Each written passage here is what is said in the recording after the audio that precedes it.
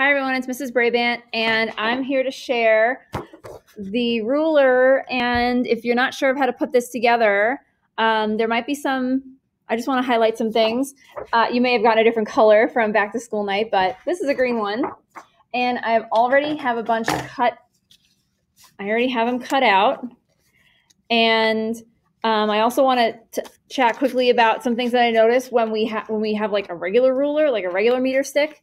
Um, this is just a workaround. We can't really, we don't have enough meter sticks to give out, and we'd rather keep those here in school. And this is a good way to kind of get around that. So um, you want to cut them out and try your best to get right up to the edge there.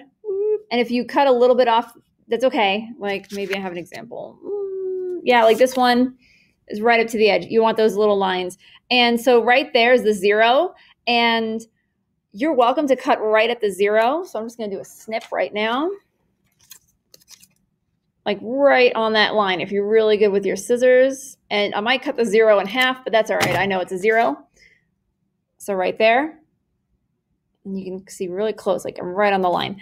That way, if I measure something, like I want to know how long this straw is, I can just go right up to the edge of the paper instead of trying to like get right onto the zero, right?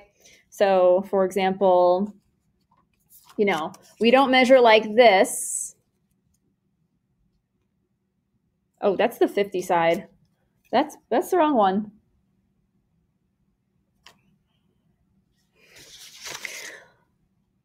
Here we go. We don't take our ruler and measure like this because we're getting extra length that we're not accounting for. We want to get right up to the line there. And if you just want to cut it right there,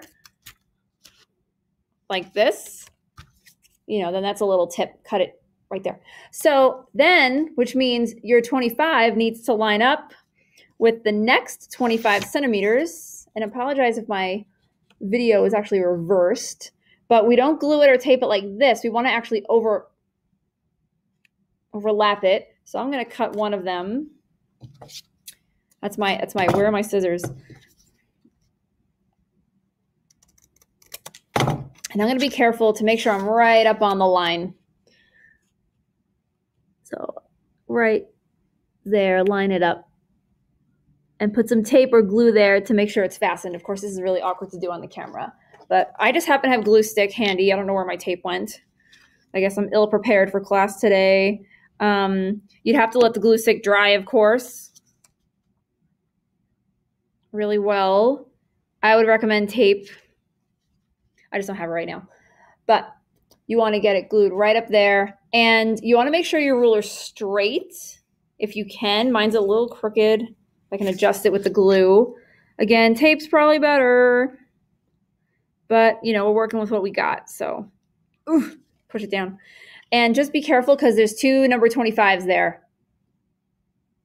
Right? So go ahead and go and glue it just like that all the way up to the end. And I'm going to add the 50, 51, 52, all the way up to the end.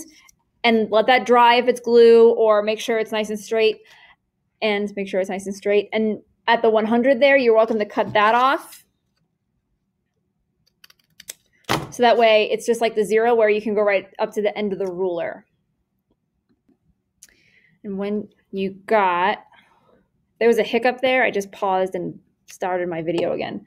I just glued the whole thing together. So you didn't even really need to see me sitting here doing that. But when you glue the whole thing together, I have, oh, this is a little crooked. I'd have to fix that. But I got a nice long meter stick that I can use at home to measure for my science and engineering projects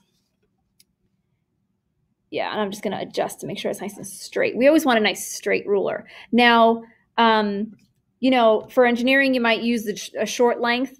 So you might just lay it out. So you can just use like up to 30 centimeters. But now you got a nice meter stick for science and engineering.